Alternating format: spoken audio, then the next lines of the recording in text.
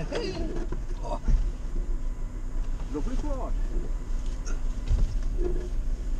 Has that effect, doesn't it?